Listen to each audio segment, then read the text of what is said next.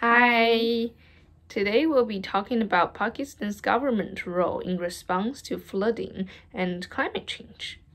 Coco, what has the Pakistan government been doing to address the floods and climate change? So, um, in terms of the 2022 floods, it's mainly cash assistance, and provincial governments redirected development funds to flood relief. Islamabad also has verified fundraising agencies on the GoFundMe website.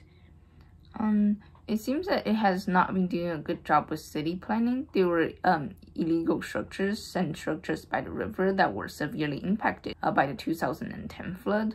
However, um, these structures still existed in the 2022 flood.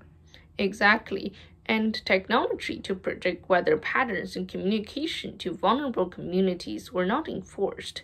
Data collection and mapping were not done to achieve that either. And there wasn't a flood management or disaster management system in Pakistan.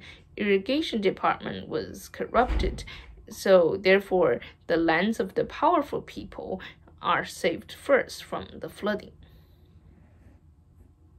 Yeah, the country is in an economic crisis, so there are few resources to divert to disaster management.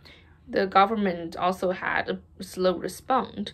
According to an article, the devastation had continued for many days and the floods began in mid June, but the formation of a new National Flood Response and Coordination Center was announced as late as the 29th of August.